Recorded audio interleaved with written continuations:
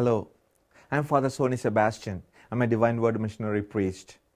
It's so nice to share this reflection with you today. Today is January 1st, Wednesday.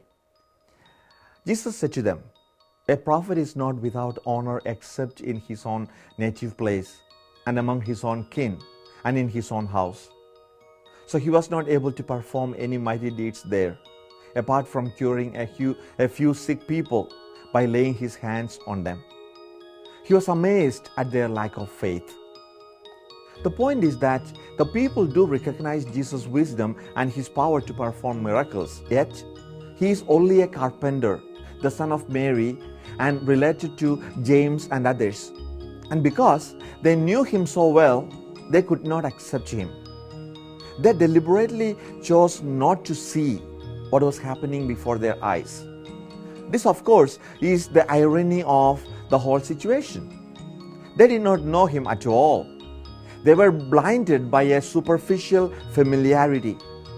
So Jesus says a prophet is only despised in his own country, among his own relations, and in his own house.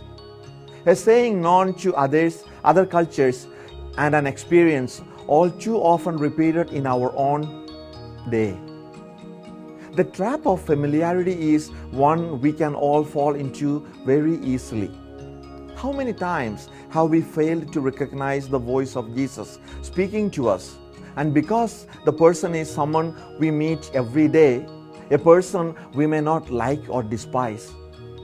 But God can and does talk to us through all kinds of people, believers and non believers, relatives, friends, a colleague, our own children, total stranger, educated or even uneducated.